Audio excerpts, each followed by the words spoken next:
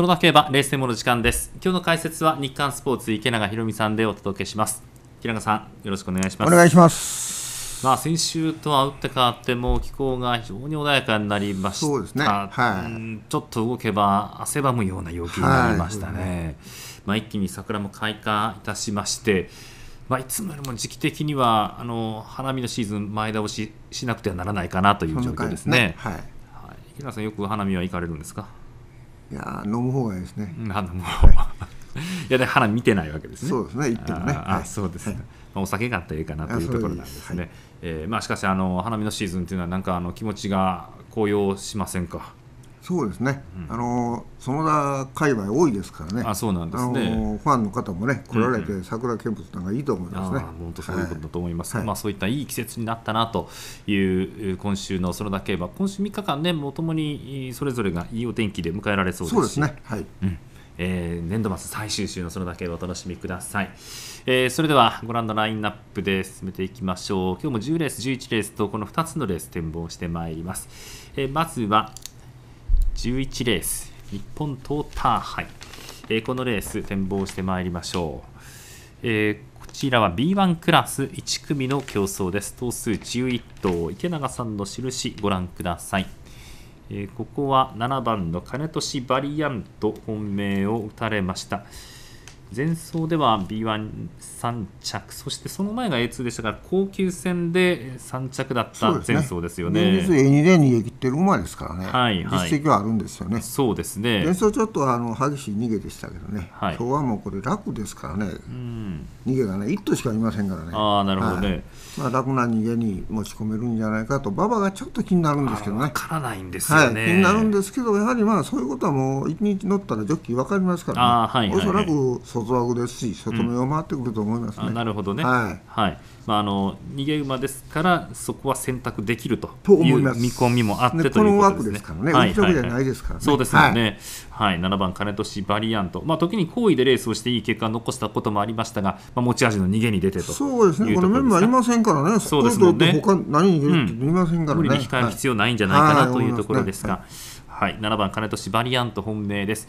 で2番のファインキャプテン対抗ですねこれは堅実ですね。まあ堅実ですよ勝てませんが堅実ですはい、一層昇級戦の昇級2戦目からね、2、はいはい3、2とね、きっちり来てますしねそうで。すね前回、現実にこの金添バリアントを捕まえてますんでね。はいはいはいまあ、ここはもう相手候補としては当然抑えておかなくてはならないところ、はい、思いますまあ、。この馬中心でもいいぐらいですね。ぐらいですね。はで黒三角は4番東証チャート、まあ、これもね非常に堅実い。でね。去年の 9, 9連続でしたかね。ああそうですねずっと続いてます前ね走3着でしたね三着でしたねずーっと連帯連帯しとったんですよね。はいはい形的にはあの番手競馬で、まあ、逃げる馬を捉えるというのがなんかこの馬のパターンかなと思うんですが前走はやはりかなり後ろからレースになうん、りましたからね。上に上がったらちょっとねあのなかなかつけれないですかねビーチ上がるとねそういうことはいそれでもなんですね癒しもあのうんうん2走とも出してましたからね、そうですもはいんね。はいまあ、ここはメンバー考えますとある程度前につけてということになりそうですかね。と思い。はい。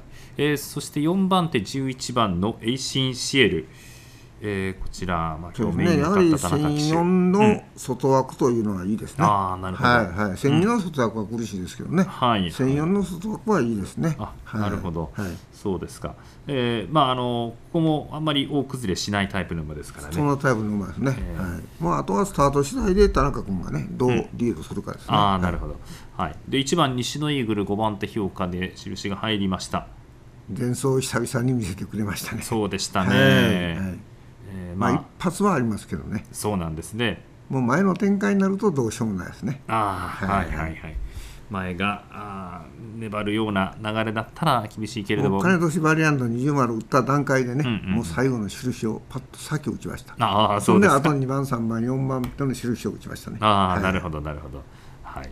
えー西のイーグルの追い込みというところも一つ注目しておいてください、はい。まあ、他にもねあの A2 勝ちのある馬もおいまして、えー10番のクールジャイロなどもねそうですね。はい。A2 勝ちがあるんですが、まあ、ここではかなり人気下げたような形ですか？そうですね。このこれは逆に内枠の方が僕いいああもう全然としては11番でこれ来てるんですよねうん。2着ね、うんうん。はいまあ、どの位置つけれるかですね、川原騎手はでは勝ってないんですよね、まだ。はい。まあ、川原騎手、無理したレースぶりってまずしないですからね、はいはいえーまあ、その流れをつかむレースをできるかどうかというところにありそうですね、えー、5番ミスティフリップなども、えー、そうですね、これ人気になるとも、あのころですね。ー競争、あの落馬のあとね、きっちり来てますからね。そうですもんね。はいはい。うんまあ、候補はだいぶいますね。なかなか上位、なかなかあの差はありませんね。難しいですよ、はい。そうですよね。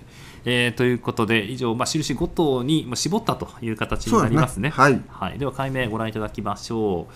えーここは馬単のボックス、7番、2番、4番、11番。まあ、印に入ったところで、西のイーグルはここに加えてはいないと。そうですね、まあ、一ところです着か、うん。ね、着外と見てるあなるほど。見てるんですけどね、ははは。3着以下と見てるんですけど、まあ、ね来られたらしょうがないというところですが、はい、来たら高配当でしょうけどね。はいえー11レースをお楽しみいただきたいと思います。発送時刻3時55分です。えーそれから次は10レースの展望3時20分の発送です。B12 組の競争、ここも11頭立て、印をご覧ください。